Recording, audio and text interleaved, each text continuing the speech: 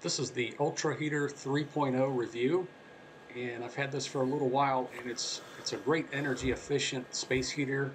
Uh, it goes in from 800 watts to up to 1200 watts. It has uh, overheat and tip tip over protection. Uh, it's pretty low noise, barely hear it. It has a little uh, filter in the back, filters out some air. Um, a great space heater heats up a, a big living room area here.